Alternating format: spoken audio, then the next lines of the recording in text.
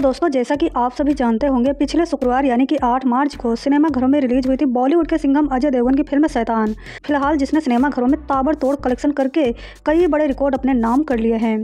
दोस्तों, फ़िल्म ने सिनेमा घरों में चौदह दिन पूरे कंप्लीट कर लिए हैं और फ़िल्म का सिनेमा घरों में आज पंद्रहवा दिन चल रहा है। लेकिन दोस्तों, ऐसा नहीं है कि फ़िल्म ने कलेक्शन करना बंद कर दिया हो या फ़िल्म के कलेक्शन में हमें गिरावट देखने को मिली है। शायद आप यकीन नहीं करेंगे, लेकिन आज अपने पंद्रहवें दिन भी ये फ़िल्म बॉक्स ऑफ़िस पर ताबड़तोड़ कलेक्शन करके कई बड़े रिकॉर्ड अपने नाम कर रही है। तो दोस्तों, फ़िलहाल इस वीडियो में हम आपसे बात करने वाले हैं। अजय देवगन की फ़िल्म शैतान अपने पहले चौदह दिनों में इंडिया के अंदर टोटल कितनी कमाई करने में कामयाब रही। वही फ़िल्म का पूरे वर्ल्ड में टोटल कितना कलेक्शन हो चुका है और आज अपने पंद्रहवें दिन ये फ़िल्म कितनी कमाई करने वाली है और फ़िल्म का पंद्रह दिनों का total world wide box office collection कितना हो जाएगा।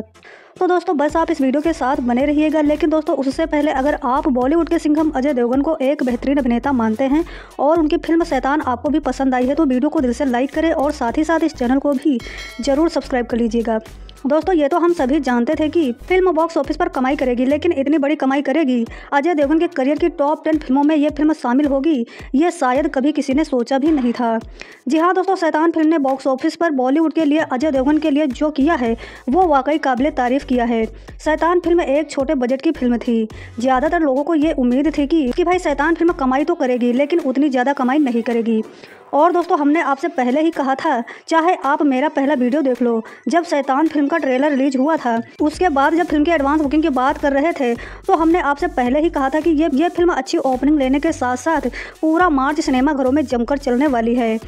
क्योंकि वाकई इससे पहले दृश्यम टू मैंने देखी थी। दृश्यम टू के साथ क्या हुआ था, ये तो आप सभी जानते हैं। और ट्रेलर देख के मुझे लग गया था कि ये भी वैसी ही फ़िल्म होने वाली है। तो ये फ़िल्म ऑडियंस को बहुत ज़्यादा पसंद आने वाली है। और यही हुआ फ़िल्म शैतान के साथ। फ़िल्म शैतान ने बॉक्स ऑफ़िस पर अभी तक जिस तरह से परफॉर्म किया है, वो वाकई काबिल तारीफ़ किया है।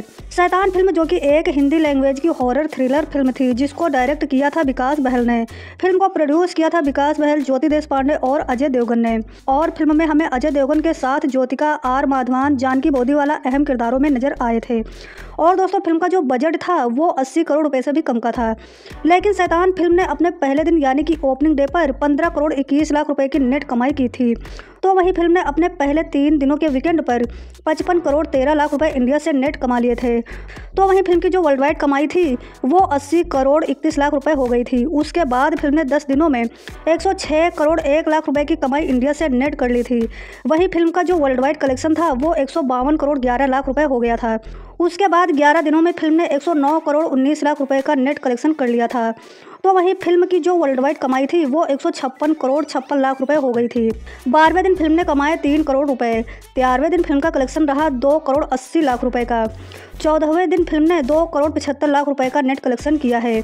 वहीं दोस्तों, आज ये फ़िल्म दो करोड़ पचास लाख रुपए कमा रही है। और फ़िल्म का पंद्रह दिनों का total box office collection India के अंदर 120 करोड़ पचास लाख रुपए नेट हो गया है।